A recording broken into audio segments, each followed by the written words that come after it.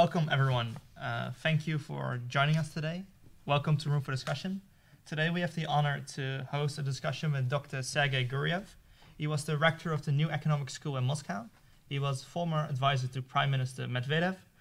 Uh, however, in 2013, he had to move uh, from Moscow to Paris due to, as he called it, frightening and humiliating inter- interrogations by government investigators.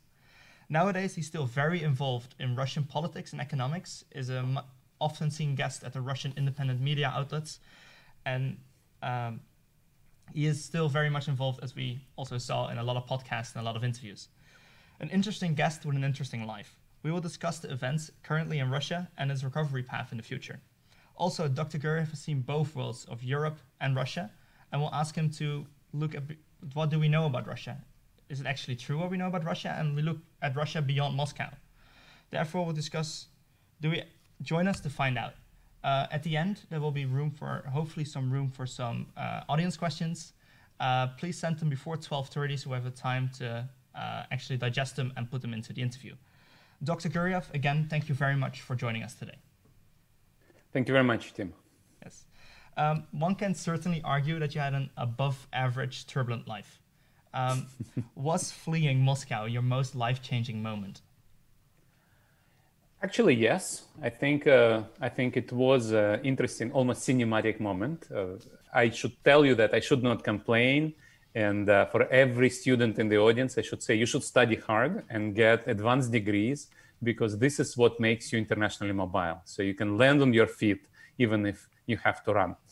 Uh, but uh, I have friends uh, who are suffering much worse, circum- who are facing much worse circumstances. So I'm in touch with Alexei Navalny, whom I know for many, many years, who's been attacked three times by now and uh, almost uh, lost his vision in 2017 and uh, now almost died in a Novichok attack and is still not fully recovered. And so compared to that, uh, running away from Moscow and becoming a Paris in Europe, uh, becoming a professor in Paris is uh, not that scary. But some some details there were quite uh, interesting, and indeed, one uh, um, circumstance which I would share with you because it kind of adds uh, this cinematic property to the whole experience is my meeting with my wife in an airport. It's almost like a spy movie. So when I was thinking that I may have to run, but uh, was not yet sure, I came uh, to Russia one last time, and she was in Paris at the time, and she was uh, supposed to travel to Russia as well. And uh, she knew that uh, I may be in trouble, and so she suggest, suggested that I somehow communicate to her encoded messages uh, that I'm in trouble. So when I come to Moscow evening on Sunday. On, on Monday, I have a few meetings with uh, highly positioned, highly ranked uh, friends in government and private sector, asking them whether it is safe for me to be in Russia right now. And all of them say no. and so I buy, uh, by the time the day is over, it's like, uh, I don't know, 10 p.m. Uh, so I buy the one way ticket for Tuesday uh, to France. And, and I send an SMS to my wife who is coming on Tuesday to Moscow. I'm sending a SMS, which I thought means that I'm in trouble, and she didn't understand that. And uh, and uh, I picking up her in the airport, and I'm saying, look, in two hours my flight is away from Moscow. I'm no, never going to be back to Moscow, and so we spend this couple of hours in the airport, and uh, this is quite a conversation. She doesn't have a ticket, so she's staying in Moscow for a few more days and uh, we have this uh, interesting conversation like at the movie. And then she also watches whether i'm detained on my way out at the airport or not. And that was uh, also quite uh, um, scary but it worked out. And i should tell you that a few months before already when i was facing problems both she and myself whenever we cross the border would have a special procedure. So you show your passport at the passport control and they would say wait we need another person to look into this. And basically this procedure is they send the fact of your border crossing to the investigative unit somewhere in the center and they wait whether you should be detained right now or not. Mm-hmm. and this takes five minutes or ten minutes not really more but it's quite painful actually to wait whether you're allowed to in or out of the country without being detained. So part of that was unpleasant, but compared to Novichok, it's just piece of cake. Yeah, it's it's it's an interesting story and definitely can be part of a movie film. Uh, so now you're settled in, in Paris for um, quite a few years now. Um, so what we're wondering is what is the most notable difference between daily life in Moscow and in Paris? So it's a it's a big difference, but uh, you didn't mention that. Uh, I also, after moving to Europe, I also spent three years working as chief economist of a European Bank for Reconstruction and Development, which was yet another life. So I've lived several lives, but my life in Moscow prior to leaving was very different from simple professorial life. I was a president of a university, a very important private university, I should say. As you said, informally, I was advising government officials in various kind of commissions, task forces, advisory panels. Uh, so that life was a very active, not really quiet academic life. Today, I'm a professor. I, I, I still write columns. I, am advising various institutions, uh, various international organizations. That's true, but it's a much more quiet life. And until 2020, the life would be I really just walk to work. I do research, I write research papers, I, I write books, I go to international research conferences. So it's just great life, not busy, not hectic. Uh, I would, if I travel, I travel to international research conferences, and um, and I have time to work on research, and I have time to enjoy life in Paris, which is a great place to be. And uh, we chose to live in Paris, and this is yet another luxury that uh, academics have. You can actually choose where to live. And both my wife and myself are professors of economics. We got uh, jobs, and she is a professor at Paris School of Economics. I have I have a job at Sciences Po, and uh, quality of life in Paris for academics is great. But I also had these three years of hectic life in London, where I worked a, as a chief economist at EBRD, which is based in London, where I would travel. First and foremost, every week I would travel for weekend to see my family, London, Paris and then every other week, I would also travel to countries of operations to Uzbekistan, Egypt, Tunisia, uh, and then to places like Washington or Korea or, um, or, or, China to talk to uh, various counterparts. So that was a lot of travel, a lot of hectic life uh, during those three years between 2016 and 2019. So, but so, normal Parisian professor life is just great life. I highly recommend it. yeah, so so you've seen definitely a lot of countries in, in that time, and and uh, we in the West always uh, think that we know a lot about uh, Putin and and the Kremlin, but um, we don't know a lot about the Russian people. So do you think, um, Sergei, that we uh, that you feel like um, Russian people are too often conflated with the Kremlin? I think uh, the last few years have changed that. They changed that a lot. And basically, when I arrived in Paris in 2013, you should know. I think it's there is a difference between uh, France and some other European countries. France loves Russia. The French people just love Russia, mostly because of culture, but also because of shared history of fighting of fighting common enemies, and uh, and because of Russian nobility moving in 1917, 19 and further uh, later years to Paris. So there is a great positive attitude to Russia. And before 2014, uh, that was conflated, as you rightly said. Putin and Russia were the same thing. After 2014, people start to learn that you can love Russia and still recognize that Putin is no, a non-democratic, vicious leader who actually threatens neighboring countries. And so by now there is a change. And by now people understand these are different things. If you think about Russia watchers, people who do watching Russia for living, like think tanks, uh, policy advisors, Russia scholars, they all understand everything. They travel to Russia, they understand the differences. They travel not just to Moscow. So all of that is being watched. And especially social media. So a lot of information comes not through official sources, but through social media accounts. And so people based in Europe know a lot about Russia right now. If you ask me whether people based in Europe understand Uzbekistan uh, well, that's a different story. So Russia is a, a, country which everybody watches and tries to understand. Neighboring countries are much well are much less well understood. So right. there is there is a gap. But Russia, I think, is watched and understood pretty well. So we talk about neighboring countries, but uh, Russia itself is very diverse. Uh, Russia is presented as a complete national front, for instance, at sports games, the Olympic Games, bar the last few years. Uh, but what people don't often know is that Russia is a federation, including over 160 ethnicities. Um, and what, which identity do you think is more prevalent, like the regional one of a Chechen or the national one as a Russian? So this is a great question. I myself am not ethnic Russian, and uh, people wouldn't know that when I'm in Europe. I was born in Ossetia. I'm ethnic uh, North Ossetian, and within Russia, everybody would know that. Everybody would understand that from my last name. Everybody would know I don't belong to the main Slavic Russian identity. And uh, when today I am in Europe, I'm a privileged social category of middle age, uh, middle class white man. Huh? And uh, in Russia, I would be an ethnic discriminated minority. So I understand those challenges. And uh, your question is actually very important because if you're in Chechnya, the Chechen identity would dominate. If you are in central Russia, that would be definitely central, uh, that would be Russian identity. And so this is a challenge. Russia should be a federation. De facto, it's not really a federation. But every ethnic minority has its own ethnic identity for sure. And this is a, a, an imperial legacy which has not been yet resolved.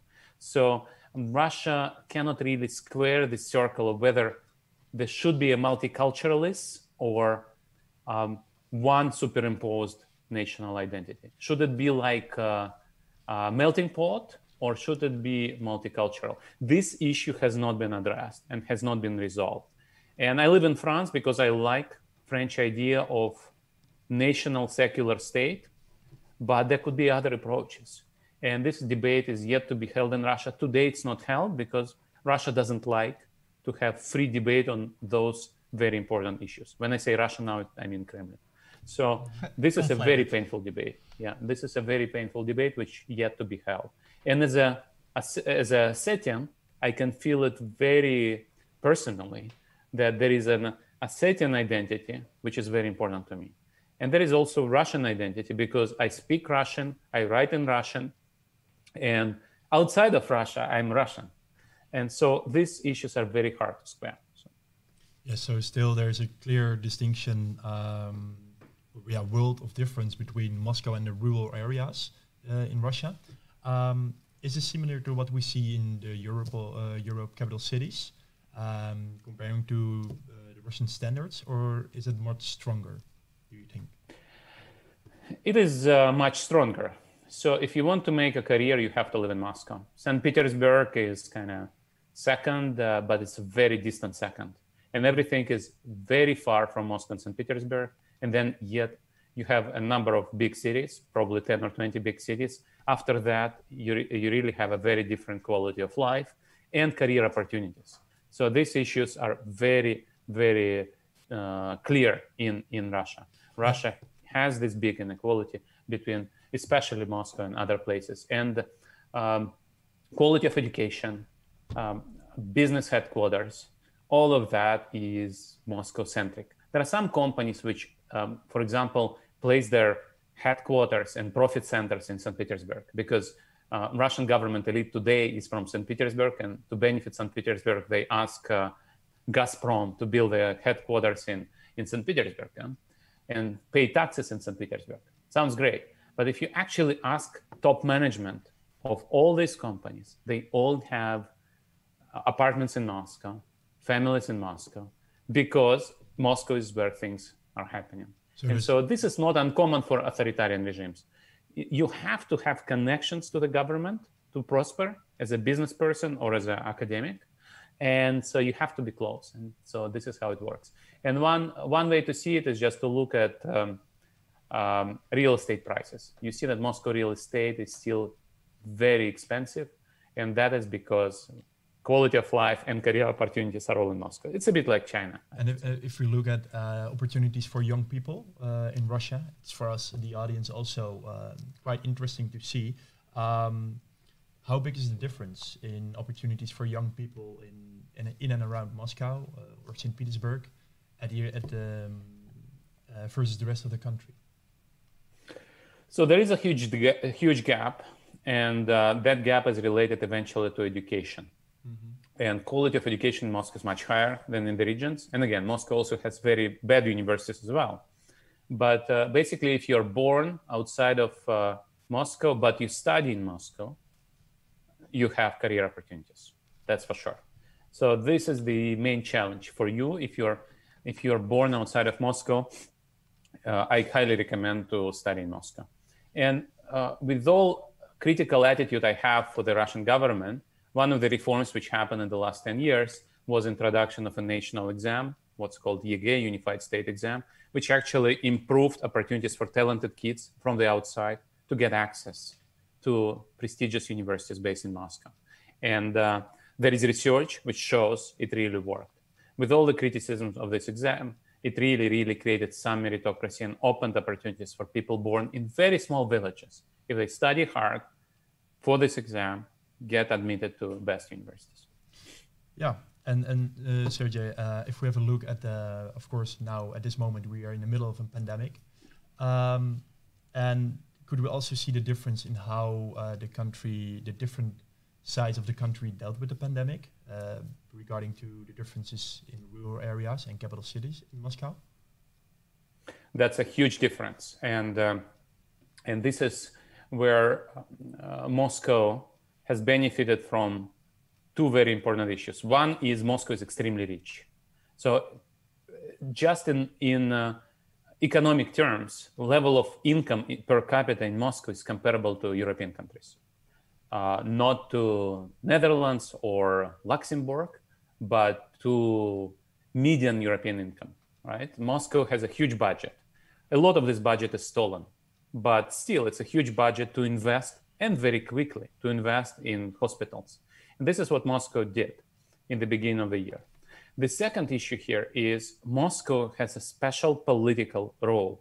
After the protests in 2011 and 12, the central government understood uh, it's very important to keep up quality of public goods in Moscow high. So at least this reason for re- rebellion uh, uh is removed.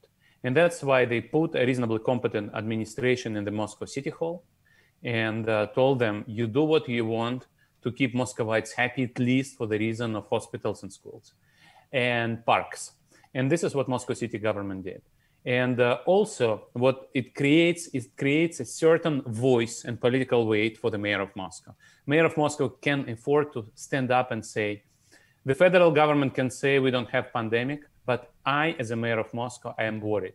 So I will build hospitals and I will help my population not to die.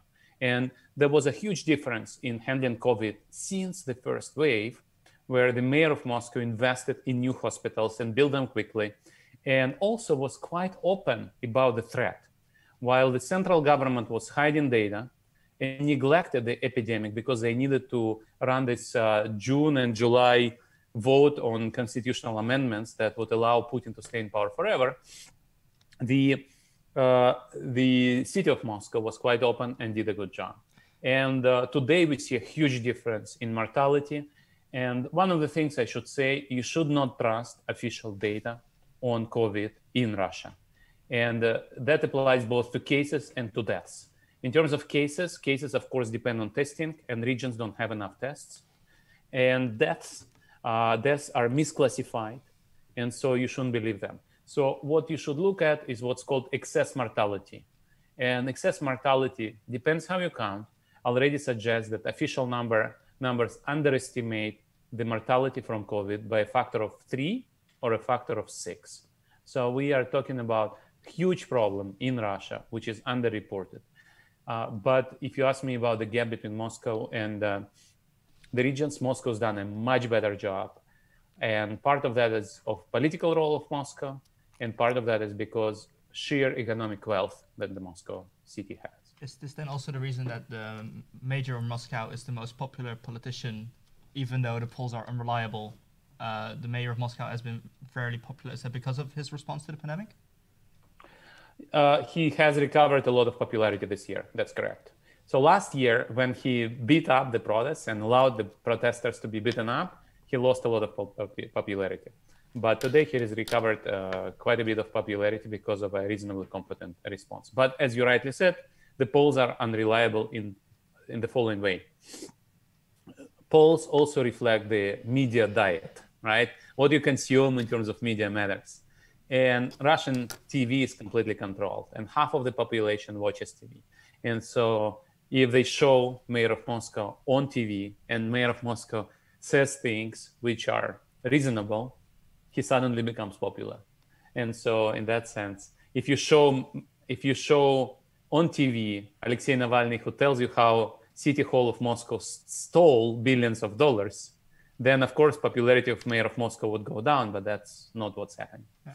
To go more into this unreliability of uh, news and also the, the, the, national government saying things or how they handled the first wave of the pandemic, uh, a few days, a few weeks ago, the Pfizer BioNTech vaccine got released with 90% chance of curing the patient.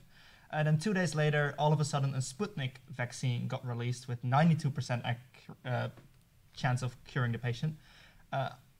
Should we take that face value? Is that to be trusted, or is that going to be another bet, uh, propaganda tool from the Russian national government? They have everything under control. So there are two issues here. One is Sputnik vaccine has not completed the tests yet. So uh, Pfizer BioNTech has completed the third stage. UK has registered it and it's going, it's getting ahead.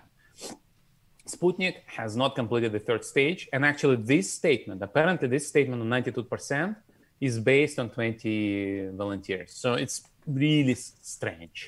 It's really bizarre, and it should be uh, considered as a blatant lie right? Non-scientific lie.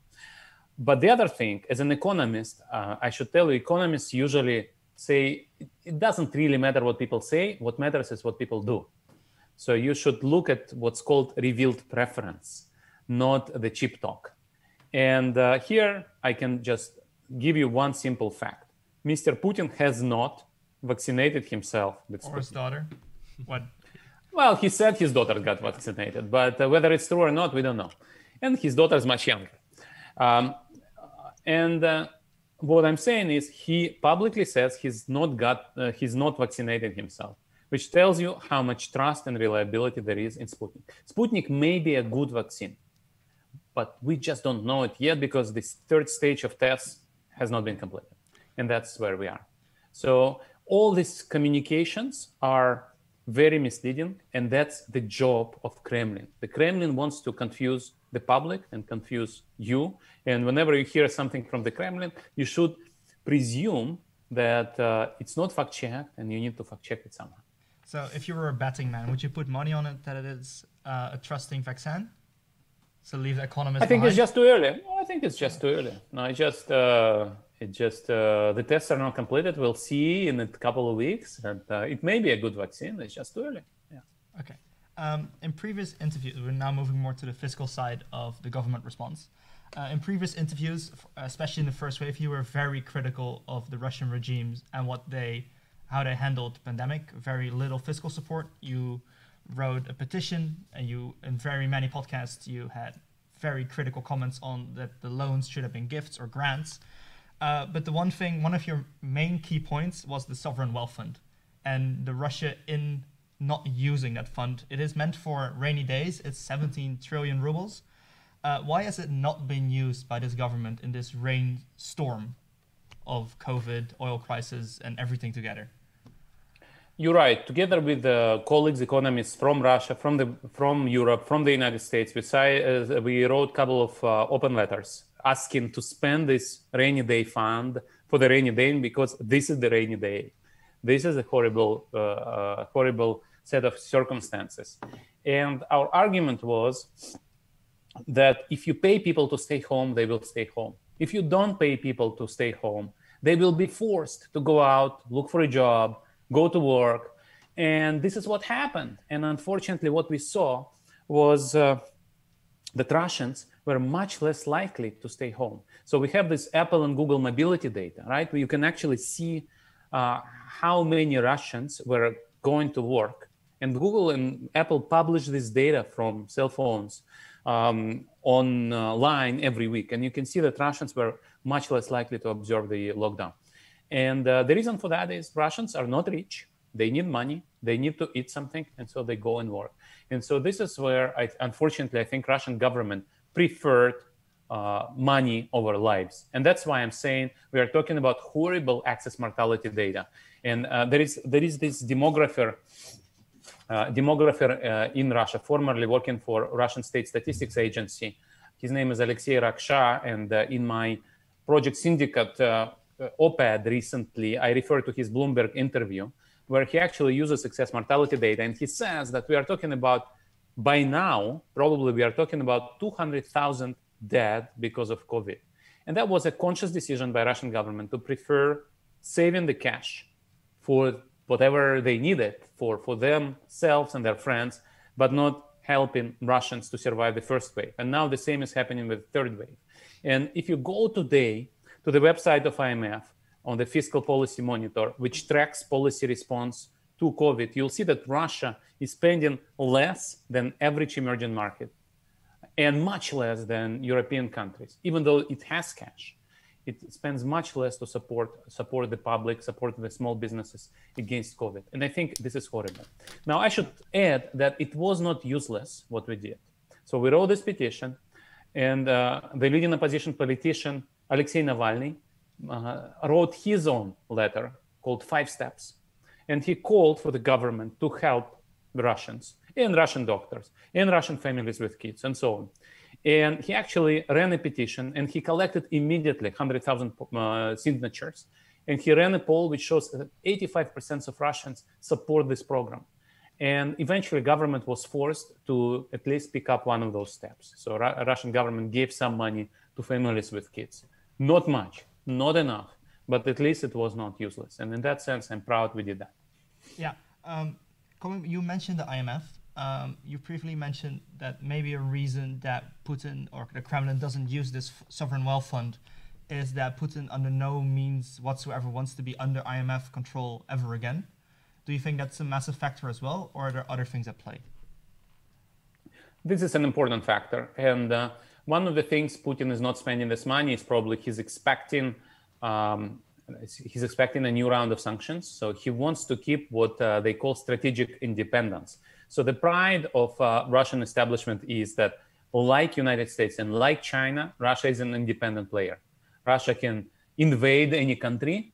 Russia has nuclear weapons, so if you invade somebody, they will not bomb you. You are not Saddam Hussein, so you can afford to invade a neighbor, and uh, uh, you also can survive the sanctions, very painful sanctions. So by now, Russia has very little sovereign debt but if you uh, impose, uh, if you don't impose sanctions, Russia can borrow. If you impose new sanctions on Russian sovereign debt, Russia cannot borrow. But Russia has a rainy day fund which can help you to survive a threat of sanctions. And in that sense, what Mr. Putin says to the West, he says, I have sovereign wealth fund so I can invade another country. So it's a very or interfere in some election or poison somebody. So, so it's a really big political chip in the international uh, yes uh, relation space. Um, speaking of that, you said the, the letter and the petition helped. There became new fiscal policy. Families got more money. Um, has that money been used like efficiently? Has also been sectors that have been underwater also been used? Um, would you rate it efficient, or in what ways would you improve it? So what was done, and I think uh, it was good but not sufficient. So Russian government just gave uh, every kid uh, 20,000 rubles per kid. Uh, every family with kids got 20,000 rubles per kid, which is not enough, um, but at least something, and, and should have been done more. Uh, and of course, it's just uh, in, a, in a sense, if you think about this, it's almost like uh, universal basic income for kids. And it's good because in Russia, poor families are the ones which have kids. And um, uh, this money was used uh, efficiently, but just not enough. People buy uh, bought food, and it's good for people who produce and sell food. Uh, of course, whole industries in Russia suffered. We talk about tourist industries, small, medium-sized businesses. I don't know, gyms, services, restaurants, all kinds of stuff is now underwater. Russian government has done certain things which is uh, really stingy and not sufficient. So they would say, if you don't fire people, we'll give you per every person you uh, keep on the payroll, we give you one minimum wage.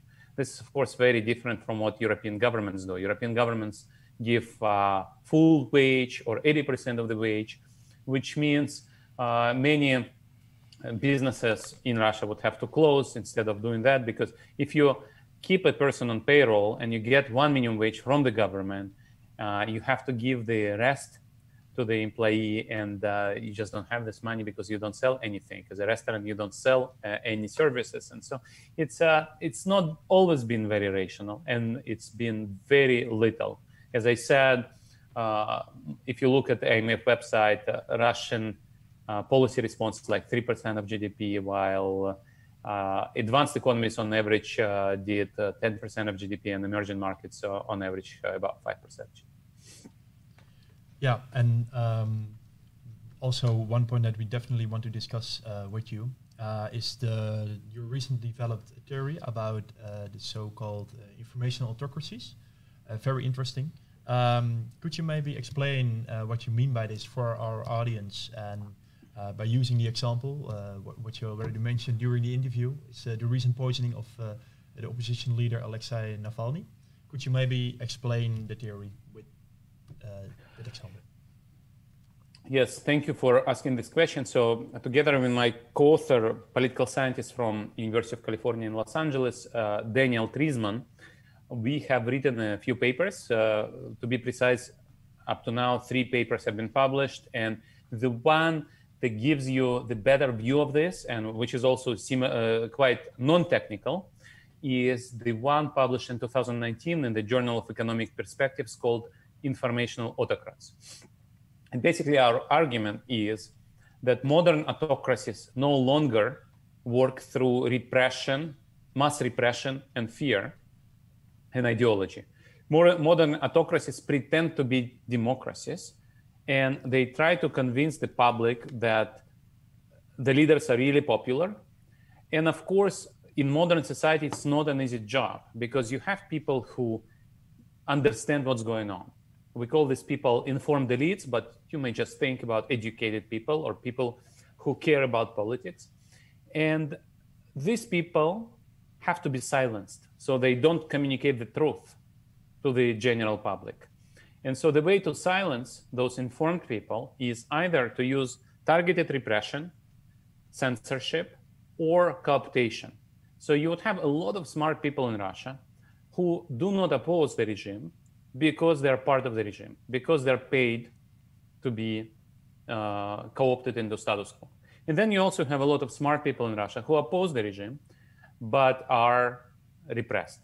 And as you rightly uh, uh, mentioned, one of those examples is Alexei Navalny, the opposition leader in Russia. And what is important for Putin is to say we don't have opposition leaders in Russia. We don't have opposition. All opposition is uh, Communist Party or Zhirinovsky Party and uh, Alexei Navalny is not a politician, he's a blogger. And uh, uh, when opposition leader is poisoned, the modern informational autocrat doesn't do that publicly. So if you go back to 20th century, many dictators would kill or imprison their opponents publicly. They would say, these are the opposition. We uh, have an open court trial and uh, we will put them in jail for being against my regime. Today, informational autocrats, majority of autocracies actually say, no, this guy is a fraudster. This guy didn't pay taxes. This guy forged documents. And this is not just in Russia. I can give you examples on this from Malaysia and Turkey and so on. Mm-hmm. But uh, in case of Navalny, what is important, Russian yeah. government denied complicity. They said, it's not us. And I think the best piece of evidence on this is the leak of conversation between Vladimir Putin and Emmanuel Macron, where Vladimir Putin to- told Macron, Navalny wasn't poisoned. If he was poisoned, he poisoned himself, or he was poisoned by somebody from Latvia. And this was so ridiculous that indeed looks like Emmanuel Macron leaked this, uh, leaked this information to the press, which is very unusual. And so this is a typical thing. Now, uh, Putin says, I'm a democratic leader. I don't kill people. I don't censor people. This is how it works. Uh, people But love me. Did it work? Did it work? Um, what what they are assuming in Russia? So uh, the citizens. Uh, the majority of citizens don't know who poisoned Navalny. That's for sure. Yeah. And uh, so if you run polls, you see that there are some people, but they're a minority, are convinced that Navalny was poisoned by the government. And I think this is exactly what happened. But majority of Russians do not know who poisoned Navalny because they are bombarded with all these theories. But are these polls reliable? As we said before, uh, the polls. That's a great question. That's a great question. I think they are reliable in a way that uh, people are not afraid to say that. And there is research uh, with so-called list experiments. So, for example, when Putin's popularity was 80%, researchers would try to see to what extent this is uh, true or people are just afraid to say they don't like Putin. And what they did, they ran what's known in political science as list experiments maybe you know about this thing, but let me explain very quickly. I show you a list of, say, four politicians and ask you how many of them you like. I don't ask you which one you like, but uh, you just tell me. Uh, you would say one, you would say two. On average, the society likes, I don't know, 1.7 of these four. And then I take another group of people, and to them I show five politicians, the previous four plus Putin. And I ask you, how many do you like? And uh, since we have a law of large numbers, statistical methods, we can actually say the average without Putin is 1.7, the average with Putin is 2.4. So the difference between the two is 0.7, which means 70% approve Putin. And so these studies showed that when public polls would give you 80% approval, list experiments would give you 70% approval. And basically, that means that these polls over exaggerate support of the government, but not by much, maybe by 10 percentage But points. it- So but this in, is but this in is that way, um, Putin lacked a bit uh, as an informational autocracy. Uh, is it? Absolutely. Yeah. Yeah, absolutely. Is, is that So, bit- uh, but uh, but uh, uh, overall, overall, one other thing which I think is uh, very important to Netherlands is the story about the uh, MH17 flight. Again, where Russia behaved exactly the same way, where Russia created a bunch of theories, each of which was fact-checked and dismissed, and is now the court hearings are going on in Netherlands, where the judge actually says this theory is wrong, this theory is wrong, this theory is wrong. We see that one by one. But this is what Russian government does, especially for domestic consumption, to convince the Russian public that there is a confusion. We don't know. There are too many theories. We cannot really judge what's going on. And uh, this is this is exactly why uh, why and how they they do that. And they did it with MH17, and they are doing that with uh, Alexei Navalny as well. So they say it was Ukrainian jet fighter which shot down this plane, or uh, or uh, it were uh, maybe it was somebody else. We don't know. Maybe maybe they were aliens or something like this. So we don't know. Yeah. Um, is there, uh, with listening to the information, information autocracy, is there a big difference in age or in uh, what's the, what's the bigger difference in age or the location where people live that they believe the government's um, uh, news outlets or at least the information like about Navalny or MH17? Well, that's of course all about informational diet, inf- what you, what information you consume. Of course, internet uh, is helping you to get better information. That's why Russian government is trying to uh, to censor internet. And right now, the main battleground is YouTube. And uh, we mentioned Navalny many times. Uh, Navalny Navalny's YouTube channel is now watched by millions of people, but that's not enough. You need tens of millions, right? And uh, Navalny's uh, support is growing, and this is why he's being poisoned. I should mention, you mentioned podcasts. I also have a YouTube channel, and I, every Russian speaker should subscribe to this YouTube channel where every week I, talk to people and try to talk uh, about what post-Putin Russia should be like. And uh, I think this is important to talk about those things so people are not afraid of uh, democratic transition in Russia. But going back to Navalny's YouTube channel, we have a paper with Nikita Melnikov and Ekaterina Zhuravskaya, which shows how access to mobile broadband internet and social media actually increases critical attitudes towards government. And one of the case studies, this is a paper which looks information from across the world. It's, uh, it's now forthcoming in the top economics journal, quarterly journal of economics. But um, one of the examples we use is Navalny's movie about Medvedev called He's Not Dimon to You. So this movie, which was uh, released in 2017, um, uh, was viewed by almost 40 million people. This is the most successful movie Navalny produced. And it completely destroyed Medvedev's career. And we show how Medvedev lost popularity and never recovered it since. And we also show that, yes, if you have access to YouTube, you are more likely to be critical of Medvedev. And uh, this is very, very important because this movie was not shown on TV. It was only viewable on YouTube.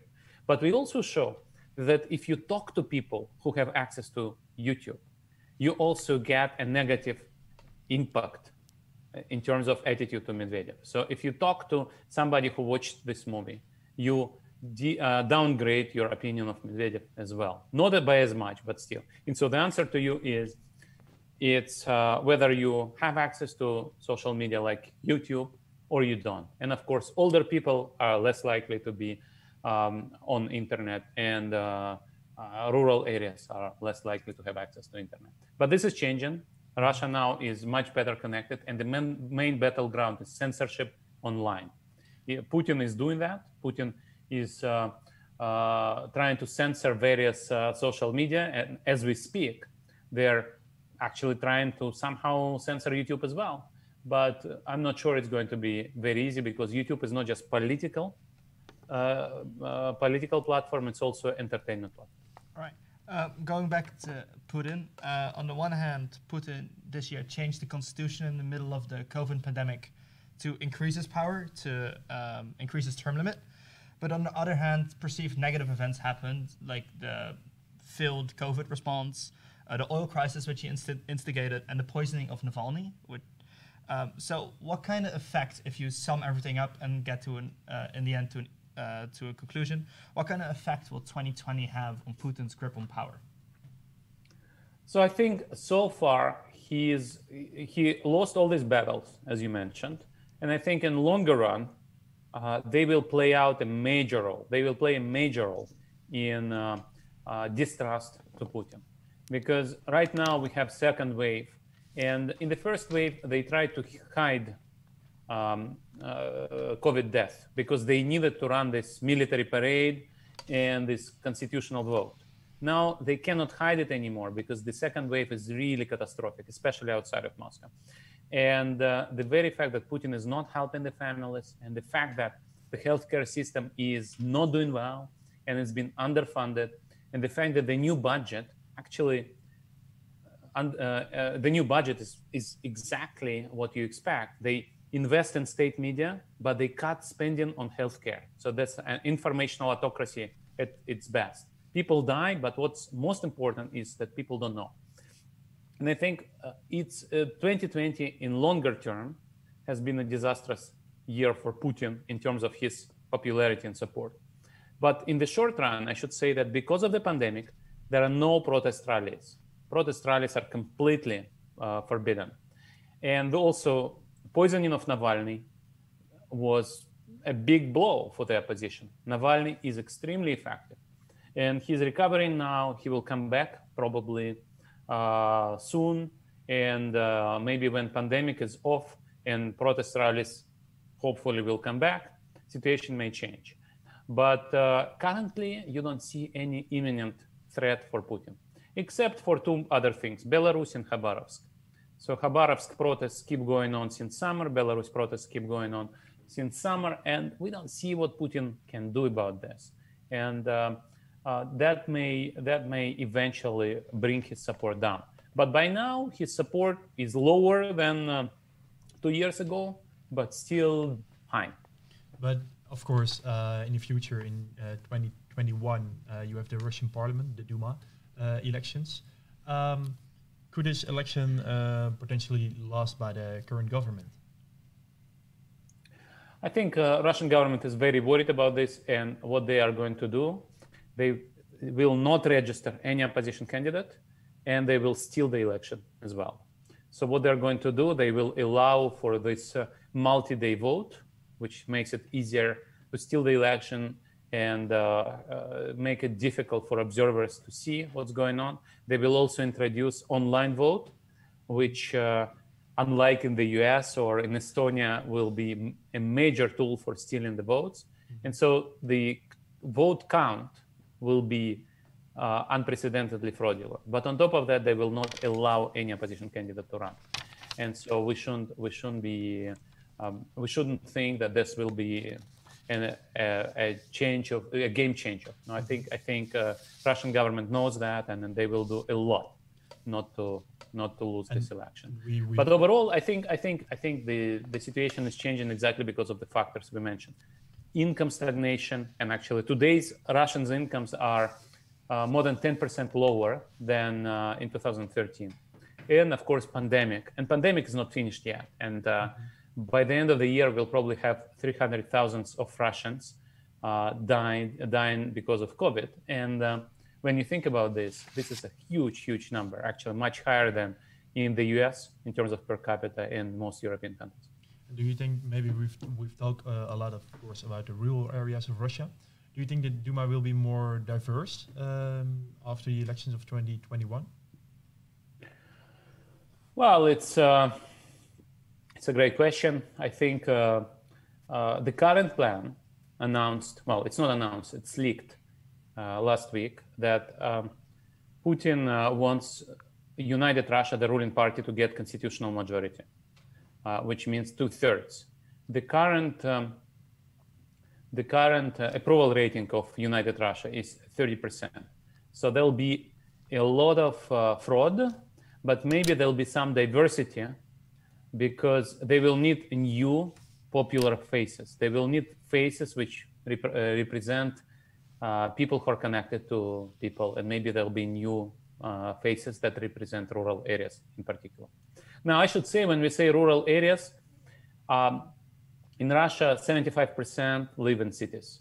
Okay, mm-hmm. Russia is an extremely educated country. If you uh, Russia has more people per capita with tertiary education than any European country. It, it's only competing with uh, Canada and Korea. So we shouldn't say that rural areas are the core Russia. Russia is not Moscow, but Russia is urban and educated, and so it's not it's not uh, it's not a country where a rural vote is the majority. Okay, thank you. Um, to come back what you uh, said just before about uh, uh, the Belarus riots regarding the election, you said the Russian government is most likely going to steal the election or at least mix results. Would you expect the same public outcry, or is it going to be immediately squashed? So it's a great question. In 2019, Russian government did not register opposition candidates in Moscow city election, Moscow city parliament election, and there was a major outcry and big protest, which was very costly for Russian government. Uh, this time the Russian government will try to play it smarter. What that means, I don't know. Uh, they will probably just not allow for protest rallies, but we'll see. We'll see. There is also this intelligent vote or vote smart strategy by Navalny, which helps to uh, hurt United Russia even when uh, real opposition candidates are not registered. So we'll see how it works out. I was ready. But in Belarus, in Belarus, yeah, I'll explain what it is. But in Belarus, I would just say an important thing. Lukashenko made a huge mistake registering one opposition candidate, Svetlana Tikhanovskaya. And this is a typical mistake for a 20th century dictator. A male chauvinist dictator thought women, women have no chance. But the opposition united around this candidate and she won. In Russia, Mr. Putin may be a 20th century person, but around him he has a sophisticated group of advisors who know what to do and what not to do, and they will not do a mis- make a mistake like this. Okay, uh, thank you. We just uh, received some audience questions, and we definitely want to discuss that with you. Um, so the first question is, um, how do you see the uh, Russian oil and gas exports developing uh, in the future, and how will this affect Russia's energy relations with China and the EU? So I think this is the biggest threat to the regime which is the green transition in Europe. And Russia is really worried about this.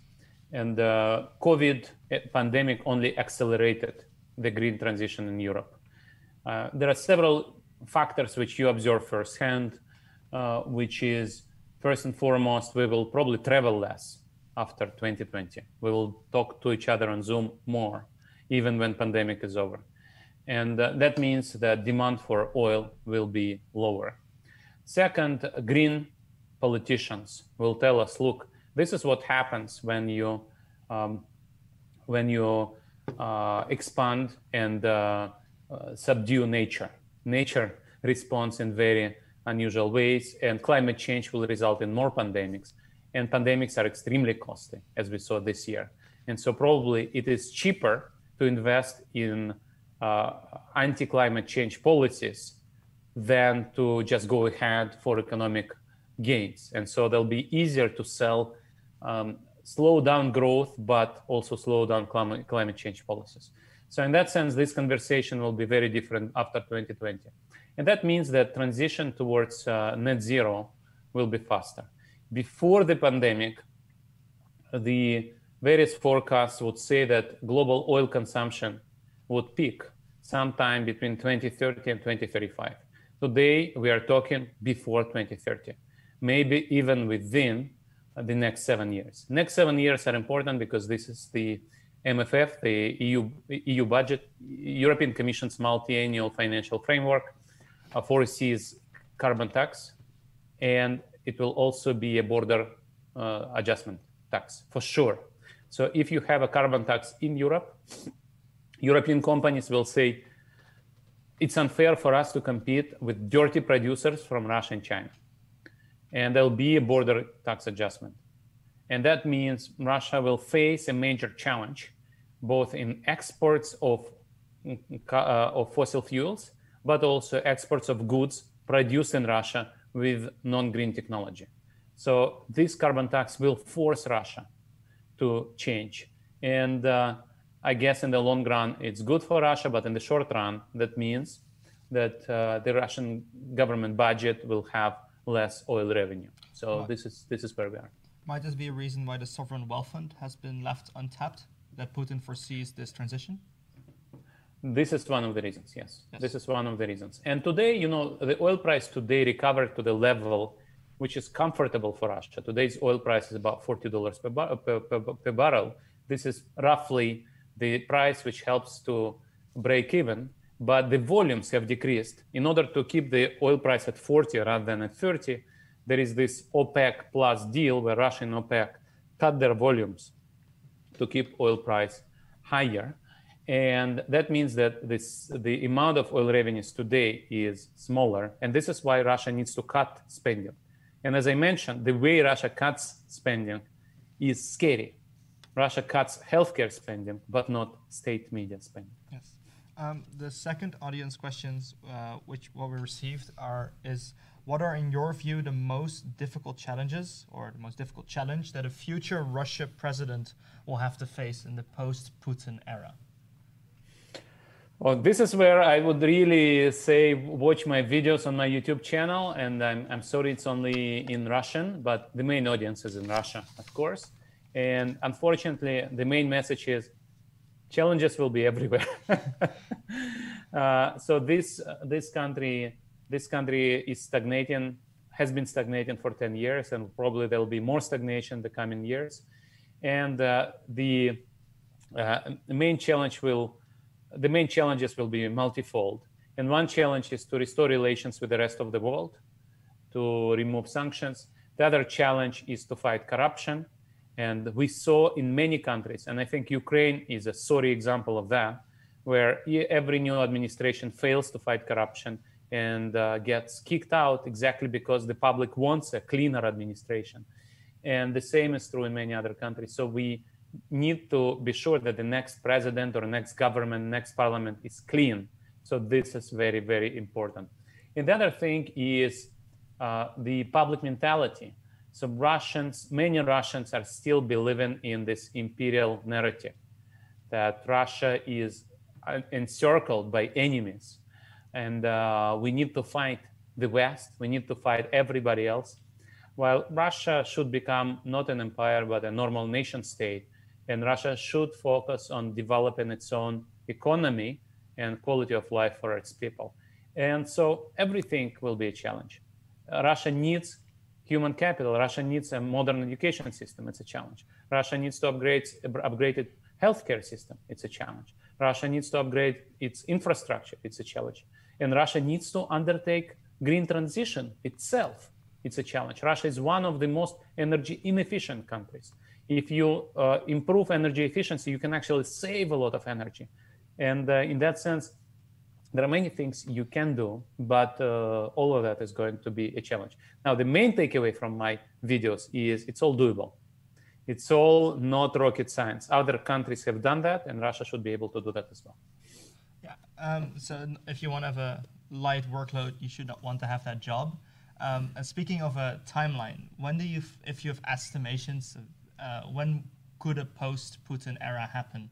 Is it in the next 20 years, 30 years, 10 years?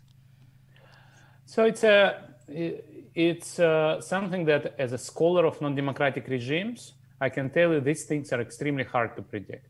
There are non-democratic regimes that uh, preside over stagnating or even falling incomes and then still are in power for decades. And then some uh, are gone because of a short time crisis. And this is a very sophisticated regime, very sophisticated information autocracy, very competent macroeconomic uh, management team.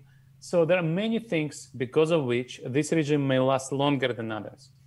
But on the other hand, uh, all dictators make mistakes.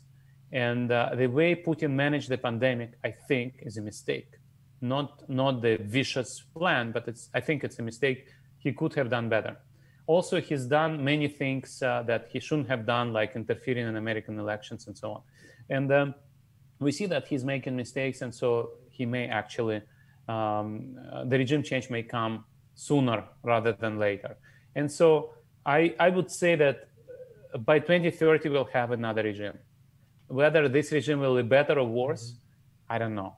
Whether this change will happen by 2025, I don't know. But the discontent is growing, and 2020 eventually will be one of the factors that will add to this discontent. And um, already within the elites, you see a lot of unhappiness that uh, there is no growth and there is no plan for growth. Russian, as I said, Russia is stagnating and there is no plan to get out of stagnation for the next 10 years. So, and one of the things I would mention in 2012, Putin promised certain quantitative targets for GDP growth, not met. In 2019, Putin uh, promised more targets. And uh, in July, he said these targets now have to be pushed from 2024 to 2030. There is just no strategy, no plan. And uh, of course, people understand that, and people are asking, maybe we should another region. Yeah. We should have another region. Uh, back in 2013, in the New York Times, you mentioned that you will not return to Russia. We're talking about regime changes. Um, has this changed? Do you see yourself returning to Russia? So what happened to me, I mentioned to you that I worked in EBRD. As an EBRD employee, I had diplomatic immunity and actually uh, went to Russia three times as an international bureaucrat. And uh, most importantly, I didn't just go to Moscow, I did come back from Moscow. So, but uh, honestly, it is not safe for me to travel to Russia right now without diplomatic immunity. And uh, after, after the regime change, of course, why not? And uh, I'm uh, I count on uh, living a long life, and so one of the things which uh, which we did uh, with uh, Alexei Navalny, who visited me right before the the pandemic, uh, we ran a few kilometers with him, and I do run occasionally and recommend everybody to stay healthy. And so Navalny recently wrote a post where he said that uh, since I run regularly, I was in a good shape, and the doctor said that was one of the major factors that uh, helped me to survive the Novichok poisoning attack. So we all need to live long, and this is one of the sayings uh, in Russian language that if you want to see a change in Russia, if you want to see a better life, you'd better to live long. So this is a piece of advice from an older person to you: stay healthy. Well, I think that's a really nice concluding remark. Thank you, Dr. Ger- uh, thank you, Sergei, for joining us today uh, for this interview. It's been a pleasure. Very interesting uh, interview. Uh, to the audience, we would like to say uh, thank you for watching. Uh, next Wednesday, the 9th of December at 1, we have an interview with two art journalists about the Dutch Harvey Weinstein in the art world, Julian Andeweg. Uh, I hope to see you then soon. Uh, once more, thank you very much, uh, Dr. Guriev, for joining us. It's been really nice. Yes, thank you. Thank very you very much. much. Thank you very I really appreciate this Northern European approach to starting on time and finishing on time. I think it's great and you should be proud of this. Yeah, thank you. Thank you.